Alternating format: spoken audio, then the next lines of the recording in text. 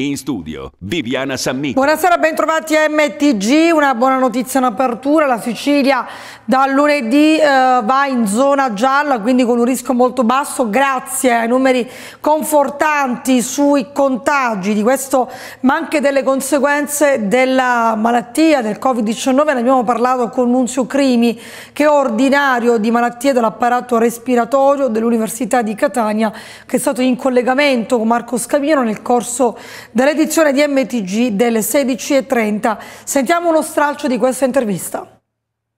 Cosa succede? Che nel, per fortuna nella maggior parte dei casi la malattia evolve benevolmente, evolve anche spontaneamente, a volte anche senza terapia, a volte con poco terapia, ma purtroppo succede un dato che è molto frequente che lascia degli strascici, soprattutto a livello della respirazione a livello della respirazione con difficoltà respiratorie, mancanza di respiro, ridotta tolleranza allo sforzo, cioè dire al minimo sforzo l'affanno, la dispennea. Questo è uno dei sintomi più comuni. Si può recuperare, professore? Assolutamente sì, assolutamente sì. E qui vorrei ribadire con fermezza che non è un problema di farmaci, ma è un problema di riabilitazione, rieducazione, riallenamento del, dei muscoli e di tutto il fisico all'attività, all'attività fisica, allo sport. Ecco, cosa Queste viene fatto su questi pazienti? Subito, ex, o meglio ex pazienti. Sì, ex pazienti che però a volte anche sono eh, anche diciamo eh, dal punto di vista psichico anche provati da quello che hanno passato. È chiaro che un paziente che è stato in rianimazione, che è stato ospedalizzato ha un, ehm, diciamo anche dei problemi a volte di depressione, di, di, carattere psichico che certamente inficiano molto la riabilitazione in toto di tutto il soggetto. Quindi è una riabilitazione che deve avvenire psicofisica e il migliore eh, elemento di terapia per questo tipo di rieducazione è il movimento. Come commenta il passaggio della Sicilia in zona gialla e che cosa si sente eh, di eh, trasferire ai nostri telespettatori? Prego. No, io sono stato molto critico e lo sono ancora soprattutto per il passato perché il virus non viene a nuoto, non passa attraverso lo stretto di Messina, ce lo portiamo noi dal, da, da, Villa San Giovanni a, a, Messina, ce lo portiamo noi nei vari porti da Palermo, Catania e così via, quindi è evidente che si deve fare un'opera di, di filtro negli aeroporti, negli imbarcaderi e tutto, perché questa è la prima cosa importante. E poi a livello sociale il distanziamento e tutto deve essere praticato in maniera eh, diciamo coscienziosa, perché solo da questo noi possiamo ottenere poi il risultato finale. La vaccinazione. Ottimo, dobbiamo ancora fare molto, dobbiamo continuare a fare molto, dobbiamo soprattutto, ecco questo vorrei concludere se abbiamo pochi secondi proprio con questo messaggio non dobbiamo avere nessuna preoccupazione per la vaccinazione. E come dicevamo da lunedì la Sicilia passa in zona gialla, lo comunica il presidente della regione siciliana Nello Musumeci dopo aver sentito il ministro della salute Roberto Speranza che ha firmato il decreto. Dopo tante sofferenze si torna finalmente a respirare, ha commentato il governatore. Provo gioia soprattutto per gli operatori economici, coloro cioè che più hanno finora sofferto. Teniamoci caro questo risultato risultato con senso di responsabilità e con rispetto verso le norme di prevenzione. La battaglia finale si vince solo quando tutti i siciliani si saranno accostati al vaccino, così il presidente della regione siciliana Nello Busumeci. E sull'organizzazione dei matrimoni in vista della dichiarazione della Sicilia in zona gialla c'è chiaramente più fiducia. Ne abbiamo parlato con Alessandra Moretti che è la vicepresidente Federmep Italia. Sentiamo. Parliamo di queste tre ipotetiche fasi che avete proposto e su cui aspettate una reale risposta dal governo nazionale perché sono applicabili, lo avete eh, dimostrato con queste immagini che stiamo vedendo che arrivano proprio da Bari. Noi ci rifacciamo un pochino all'esempio di una nazione a noi tanto cara e tanto vicina che è la Francia. Perché abbiamo utilizzato la Francia come metodo di paragone? Perché l'indice epidemiologico è molto simile a quello dell'Italia, perché il modus vivendi ed operandi delle feste e dei matrimoni è molto simile dal punto di vista proprio sociale a quello nostro italiano e perché anche loro hanno vissuto dei momenti di elevata tragicità. Ora, il governo francese prevede tre fasi di apertura in relazione ai matrimoni e agli eventi privati, che sono una eh, con delle regole un po' più serrate praticamente nell'ultima settimana di maggio, perciò immaginate come se noi potessimo dire ai nostri sposi potete sposarvi con regole un pochino più strette, il governo deve ancora pronunciarsi, ma eh, le, le si, si, possono studiare, ma si può fare. E poi via via la seconda fase a metà giugno con fondamentalmente la libertà eh, del, dei festeggiamenti con la, la, fine di giugno. Noi speriamo eh, visto che comunque è stato depositato ieri un ordine del giorno al quale tutte le forze politiche hanno partecipato e ci hanno coinvolto attivamente. In questo ordine del giorno si chiede che venga data una data e che questa data sia il più presto possibile, perché il nostro mercato economico che ha subito dei danni inenarrabili e le assicuro che ci metteremo un pochino a rialzarci, perché le nostre aziende si sono trovate con fatturato zero quasi la Sicilia è un luogo di destinazione.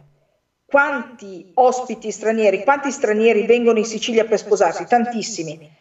Ecco, chi si occupa di destination wedding, chi si occupa di eventi internazionali di destinazione, ha dei tempi di programmazione lunghissimi. Non si limitano al mese o ai due mesi. Dunque, i matrimoni italiani magari si riescono a salvare e riprogrammare. I Mentre quelli li abbiamo persi tutti in sostanza, per no, quello che sta persi dicendo. No, persi no, riprogrammati. Con la dichiarazione della zona gialla, ma soprattutto con le prime risposte da parte delle istituzioni politiche, Confcommercio regionale sospende lo sciopero della fame.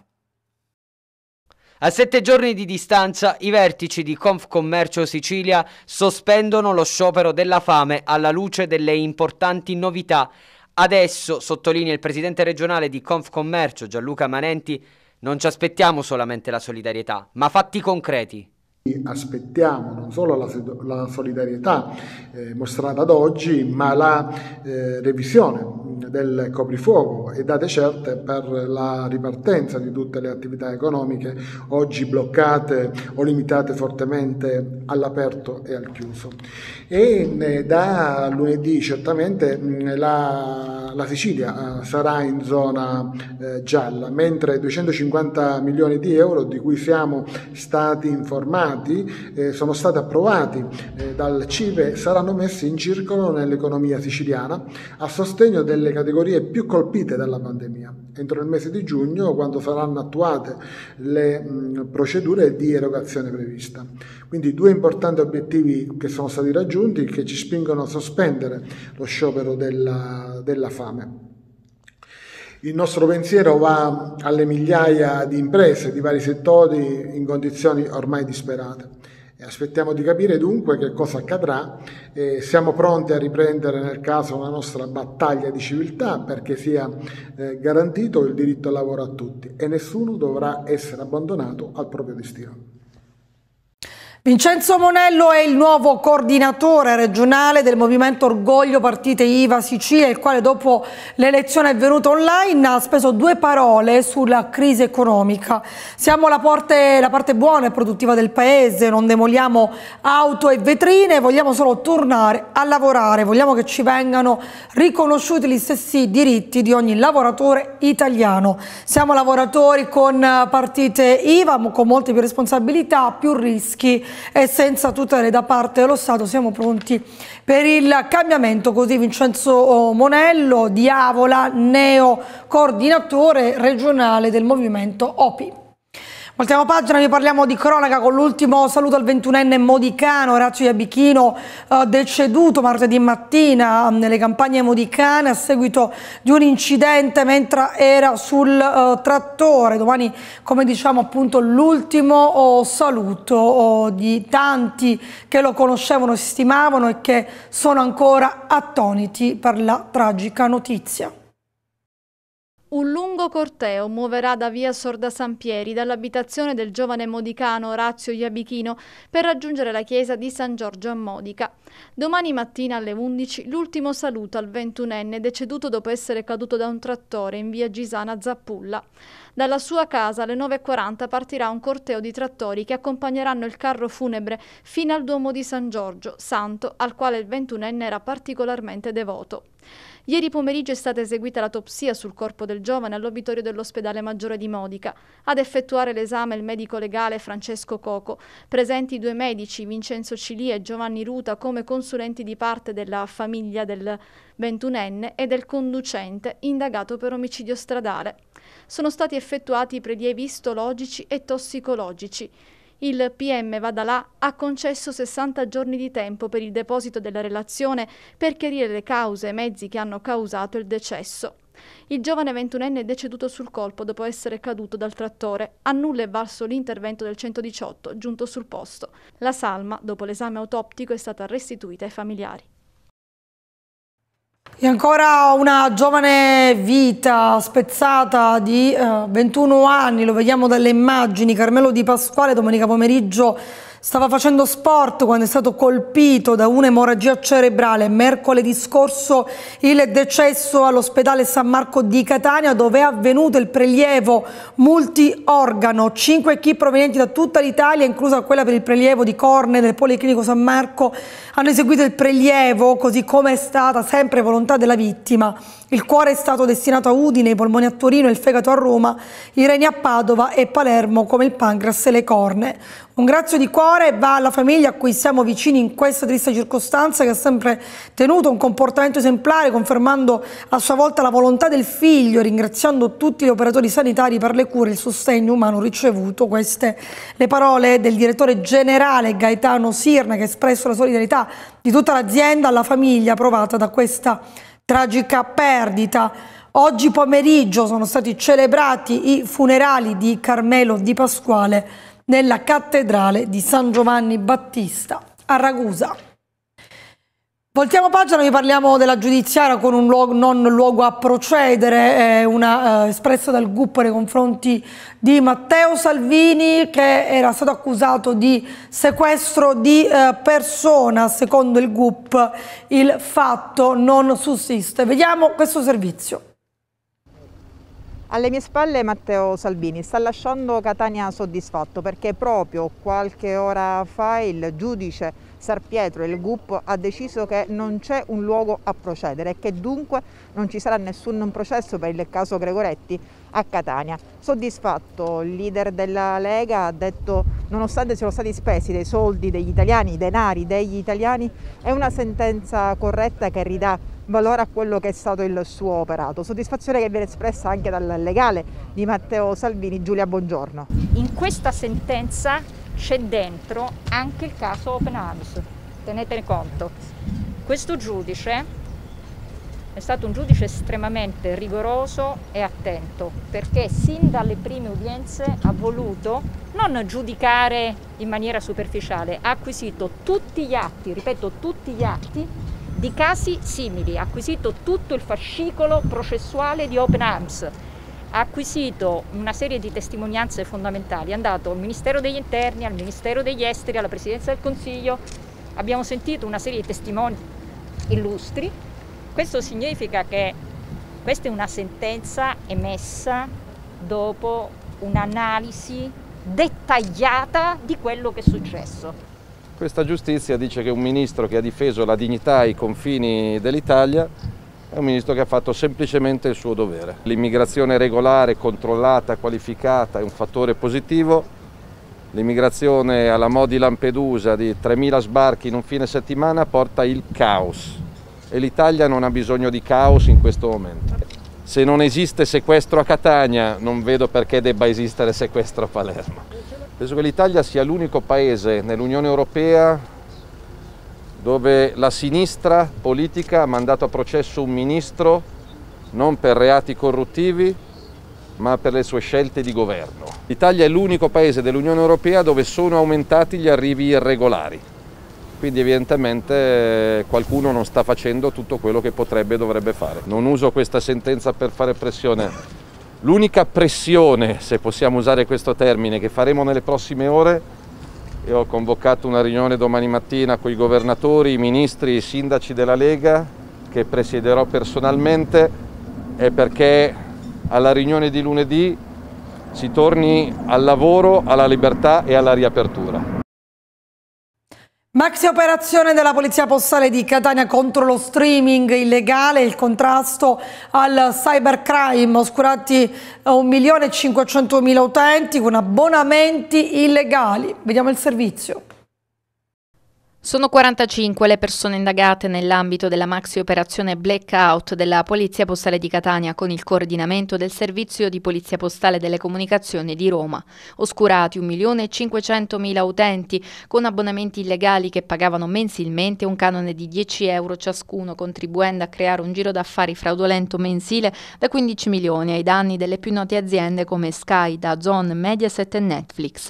La tecnica, ha ricostruito la Procura di Catania, era piramidale digitale vedeva la collaborazione tra loro di persone che non si conoscevano. I contenuti protetti da copyright erano acquistati lecitamente come segnale digitale dai vertici dell'organizzazione, le cosiddette sorgenti, e successivamente, attraverso la predisposizione di una complessa infrastruttura tecnica organizzativa, venivano trasformati in dati informatici e convogliati in flussi audio-video, trasmessi da una rete capillare di rivenditori e utenti finali, come spiega il dirigente del compartimento della Polizia Postale e delle Comunicazioni della Sicilia orientale Marcello Labella. Un'associazione a delinquere finalizzata alla frode informatica, all'accesso abusivo, alla diffusione di illegale di opere coperte dal diritto d'autore. Abbiamo rinvenuto parecchi gruppi, in particolare sui servizi di messaggistica quali Telegram, in cui venivano pubblicizzati interi pacchetti di PTV illegali si aderisce a una richiesta illecita che è il pagamento appunto di un abbonamento, la consegna di un dispositivo chiamato pezzotto che consente illegalmente di fruire di un servizio quale appunto quello dello streaming. I provvedimenti sono stati eseguiti in diverse città italiane, tra cui in Sicilia, Catania, Messina, Siracusa, Palermo e Agrigento. Sono stati impiegati nell'operazione oltre 200 specialisti provenienti da 11 compartimenti regionali della Polizia Postali che operando sul territorio di 18 province hanno smantellato l'infrastruttura criminale sotto il profilo organizzativo e tecnologico. Un'importante centrale era stata individuata a Messina, la sua disattivazione e sequestro ha fatto rilevare che questa gestiva circa l'80% del flusso illegale in Italia. Non vale la pena per un risparmio di qualche euro rischiare pesanti conseguenze legali, ha sottolineato il dottor Labella. Per gli utenti finali, qualora identificati, ci saranno anche per loro delle sanzioni amministrative che possono arrivare a decine di migliaia di euro e delle sanzioni penali che arrivano ad alcuni anni di reclusione. Per coloro che poi sarà confermato essere parte stabile di questa associazione, le pene sono molto severe, arrivano a diversi anni di reclusione, oltre a delle sanzioni amministrative molto severe che noi stiamo ancora verificando perché saranno anche in base ai flussi che gestivano. Chiusa da oggi pomeriggio la discarica di cava Demodicani per un guasto tecnico, un fermo in contemporanea all'impianto di trattamento meccanico biologico e l'impianto di compostaggio di cava dei Modicani ha limitato il servizio di raccolta dei rifiuti nei comuni Blei. A Ragusa si registrano dei rallentamenti e i blocchi di, al servizio di ritiro dell'indifferenziato e domani causerà anche la sospensione della raccolta dell'organico che non dovrà quindi essere esposto. Il personale interessato è già al lavoro per la risoluzione dei problemi, sospeso il servizio della raccolta dell'indifferenziato anche a Modica, il servizio di raccolta uh, del uh, secco indifferenziato invece verrà garantito solo per le scuole primarie e per le case di riposo. Dovrebbe tutto tornare nella normalità già nei primi giorni della prossima settimana. E si ripropone con l'avvio della stagione estiva anche il problema degli incendi, si inesprisce anche la condizione già precaria del corpo forestale che da anni attende la stabilizzazione. Ieri è intervenuto l'assessore regionale dell'ambiente, Totò Cordaro, che ha assunto una posizione sulle accuse eh, del dirigente additato come colui che definisce la forestale l'industria del fuoco, mentre è stato firmato un patto con gli agricoltori chiamati a essere le sentinelle delle campagne e delle foreste in Sicilia. La Sicilia brucia ma i forestali non sono in campo e questa è l'amara realtà che vivono i 18.000 operai del corpo dipendente della regione. Ieri è stato segnalato un incendio intorno alle 13 nella riserva di Cava Grande a Monte d'Oro che ha avuto origine da un terreno incolto. Sono intervenuti i vigili del fuoco, dei forestali, neanche un uomo. Ha denunciato uno di loro, Guglielmo Monello, da 35 anni precario del corpo forestale, il quale ha anche fatto notare che ancora a metà maggio i mezzi non sono stati collaudati, la torretta in stato di abbandono, inesistenti viali parafuoco. Tutto questo nel giorno in cui i forestali sono stati additati come coloro che appiccano gli incendi, alla luce dell'arresto in flagranza di reato di un operaio accusato di aver provocato un incendio nel parco dei Nebrodi. Una dichiarazione falsa attribuita al dirigente generale del Corpo Forestale Giovanni Salerno. Lo ha difeso l'assessore regionale all'ambiente Totò Cordaro, il quale ha dichiarato che la regione non ha mai ritenuto responsabili dell'industria del fuoco gli operai del Corpo Forestale. I nostri stagionali, ha precisato il dirigente Salerno, che ha firmato il piano assieme al responsabile del servizio antincendio boschivo Rosario Napoli, pur essendo precari, sono decisamente specializzati hanno già una garanzia di legge per l'assunzione stagionale a prescindere dal verificarsi degli incendi. L'assessore Cordaro ha altresì definito con la firma di un protocollo custodi del territorio gli imprenditori agricoli chiamati a rendere più incisiva la prevenzione e la lotta agli incendi boschivi con il controllo delle campagne delle foreste nell'isola. Creare soluzioni innovative per la campagna antincendio, ha precisato Cordaro, non significa soltanto utilizzare strumenti tecnologici come droni, ma anche trovare soluzioni che, sulla base dei rapporti umani, della presenza sul territorio e di una collaborazione istituzionale concreta, possono dare risposte effettive. Gli agricoltori devono segnalare tempestivamente roghi e mettere in campo pratiche di prevenzione come decespugliamenti di terreni incolti e realizzazione di fasce parafuoco.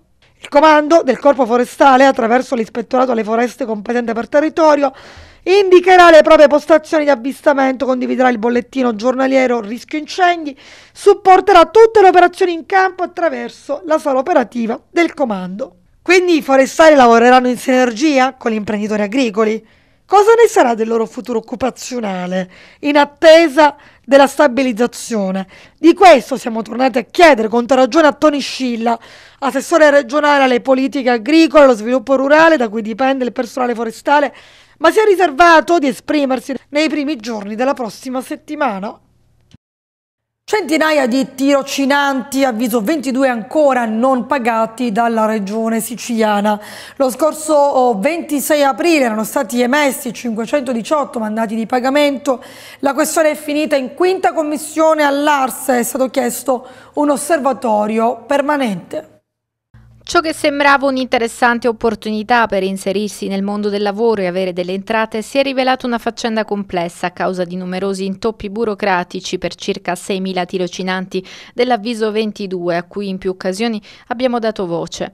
Lo scorso 26 aprile sono stati emessi 518 mandati di pagamento, ma le operazioni procedono a rilento così come ci spiegano, in centinaia aspettano di essere pagati per il lavoro svolto. Intanto la questione è stata affrontata nel corso dell'audizione di martedì martedì in quinta commissione lavoro all'ARS con le parti sociali, chiesto un tavolo permanente e l'inserimento al lavoro tramite i centri per l'impiego. È stata fatta all'Assemblea regionale siciliana un'audizione in quinta commissione lavoro, cultura e formazione. L'abbiamo fatta richiedere noi dai deputati del Movimento 5 Stelle Nuccio Di Paola e Roberta Schillaci si è discusso di un bonus occupazionale da 5 milioni di euro già stipulato dal bando stesso. Noi chiediamo all'assessorato al lavoro l'inserimento al lavoro presso il centro per l'impiego. Così le aziende possono usufruire di un bonus occupazionale di 14 mila euro di noi tirocinanti. La Regione si è impegnata a fornire una nuova lista di tirocinanti per i pagamenti, ma non ha dato tempi certi. In particolare, come dice Lauria, il dirigente dell'assessorato regionale del lavoro, l'ingegner Sciacca, ha detto sono pronte altre 297 pratiche di pagamento, per 80 sono state riscontrate però anomalie e sono tornati agli enti promotori, 176 sono invece in corso di lavorazione. Ed è così che il portavoce lancia un appello. Abbiamo chiesto di velocizzare perché questi tempi sono assolutamente troppi, ci sono tirocinanti che ancora attendono da oltre un anno le indennità. e in conclusione annuncia che ci sarà un ulteriore incontro per chiarire eventuali modalità di inserimento dei tirocinanti presso aziende private ed enti tramite il centro per l'impiego. C'è una breve pausa pubblicitaria, torniamo da voi tra poco. Ancora ben trovati in studio, adesso vi parliamo dell'edilizia scolastica con l'arrivo da parte della regione di 60 milioni per una quarantina di progetti, 9 sono previsti in provincia di Catania, 8 nel Messinese, 6 in, in provincia di Agrigento come anche a Palermo, 5 a Trapani, 2 a Enna e ad Caltanissetta e infine 1 nel Ragusano. Vediamo nei dettagli questo servizio. 160 milioni per interventi di ristrutturazione e ammodernamento, messa in sicurezza e manutenzione degli edifici, ampliamenti e completamenti di strutture esistenti, con rimozione di barriere architettoniche, realizzazione di mense, palestre e laboratori scolastici, lavori per migliorare l'efficienza energetica e gli impianti degli istituti. Sono fondi a disposizione dell'edilizia scolastica, risorse residue relative al fondo PAC 2007-2013 non utilizzate dal 2011. Fondi che si sommano ai 46 milioni di euro di una prima tranche e ad altri 50 milioni di euro di una seconda, già stanziati dal governo regionale. In totale quindi ci sono a disposizione quasi 160 milioni di euro che saranno attribuiti ai progetti in graduatoria entro la fine dell'estate. Ad annunciarlo il governatore Nello Musumeci dopo l'aggiornamento dell'elenco relativo agli interventi da finanziare, compresi nella graduatoria del piano triennale 2018-2020. La maggiore disponibilità finanziaria già acquisita permette di finanziare ulteriori 39 progetti distribuiti in tutto il territorio regionale, precisamente 9 in provincia di Catania, 8 nel Messinese, 6 in provincia di Agrigento, 6 a Palermo, 5 in provincia di Trapani, 2 ad Enne e Caltanissetta e infine 1 nel Ragusano. In particolare alle tre città metropolitane è destinato quasi il 50% delle risorse distribuite tra Catania, Messina e Palermo, mentre tra le restanti province Trapani fa la parte del Leone con un'assegnazione di oltre 11 milioni, mentre le assegnazioni ripartite fra le altre cinque province oscillano da 2,1 milioni di Caltanissetta agli 8,2 di Agrigento. Questa mattina è stato inaugurato un nuovo campetto nello spazio antistante la scuola Giovanni Falcone di Modica. L'intervento del campo di calcio rientra nell'ambito dei lavori di riqualificazione del quartiere Treppiedi Nord. Vai, 3, 2, 1, via! Un nuovo campetto in erba sintetica è stato inaugurato questa mattina dinanzi alla scuola Giovanni Falcone di Modica. Una nuova area di circa 300 metri quadrati realizzata nell'ambito dei lavori di riqualificazione del contratto di quartiere di Treppiedi Nord. Un grande spazio all'aperto al quale questa mattina hanno fatto il loro ingresso due classi quinte dell'Istituto Comprensivo Raffaele Poidomani. Felici proprio i bambini che hanno approfittato della bella giornata per una corsa all'aperto. Molto bello. Eh, ci saranno no, molte esperienze da fare e non vedo l'ora. Hai appena fatto una lunga corsa qui nel nuovo campetto, ti piace? Sì, è molto spazioso ed è fatto anche molto bene. Ci ritornerete allora qui nel campetto? Sì, sì, anche perché è molto, è molto grande e soprattutto mm, per, gio per giocarci è molto bello. Quindi vi è piaciuto? Sì! Abbiamo dovuto aspettare un po' per i call per tutto il resto, tutta la parte burocratica, oggi l'abbiamo consegnato in primis alla scuola e poi nelle prossime settimane vedremo anche per quanto riguarda le attività pomeridiane di poterlo mettere a disposizione anche di associazioni che sono presenti nel quartiere. E principalmente questa struttura nasce specialmente per quanto riguarda la scuola, per l'attività della scuola, tanto che abbiamo pensato tutti insieme con i miei consiglieri e la giunta di poter fare un ulteriore investimento e realizzare e completare la struttura con altri campetti di pallavolo e, e, e di basket. Ad esprimere soddisfazione il dirigente scolastico dell'Istituto Comprensivo Raffaele Poidomani di Modica, Concetta Spadaro. Finalmente è arrivato questo momento che attendevamo da anni eh, perché ecco, questa, questo spazio esterno era diventato sempre inutilizzato, eh, talvolta anche sede di eh, occasioni di incontro dei ragazzi mancati e quindi abbiamo sollecitato più volte l'amministrazione comunale a, renderci, a rendere fruibile questo campetto. Eh, noi non mancheremo anche quest'estate, abbiamo approvato proprio ieri sera in collegio docenti un piano scuola che prevede delle attività estive e quindi quanto più preziosa questa questa, questa opportunità eh, riesce per la nostra scuola e per i nostri ragazzi. Gli studenti dell'Istituto De Felice di Catania hanno adottato Piazza Roma, un percorso storico per conoscere l'importanza di questo sito. Si chiama Adottiamo Piazza Roma ed è il progetto che coinvolge gli studenti e l'Istituto De Felice insieme all'Assor Optimist per rivalutare una piazza importante nella storia della città. E proprio da un punto di vista storico si parte con la spiegazione di cosa rappresenta questo luogo per la città di Catania, ma soprattutto i ragazzi vogliono che questo luogo venga recuperato, perché, ed è sotto gli occhi di tutti, come le condizioni della piazza siano davvero fatiscenti, con non pezzi di strada che mancano, con un ciottolato completamente assente e questo può diventare pericoloso per chi in questa piazza decide di passeggiare o per i turisti che si spera potranno arrivare. Un nuovo progetto coinvolge i ragazzi dell'Istituto De Felice, adottano di fatto Piazza Roma che avrebbe bisogno di un restyling già da tempo. Voi stessi che la praticate lo avete chiesto così come lo chiedono i cittadini, ma i ragazzi si occuperanno anche dell'aspetto storico di questa piazza. Essenzialmente sì, il progetto è un progetto di alternanza scuola-lavoro con questo prestigioso club Sor Optimist di Catania. E noi abbiamo eh, questo progetto per fare, eh, fare ai ragazzi un'esperienza anche di eh, guide turistiche, quindi di un'apertura della scuola alla cittadinanza e eventualmente ai turisti. Eh, Covid permettendo, il finale di questo progetto eh, sarebbe proprio quello di eh, fare delle giornate in esterna e coinvolgere quindi i cittadini facendo loro conoscere questo prezioso bene che è la piazza Roma. Un progetto per coinvolgere i ragazzi per spiegare la storia di questo luogo.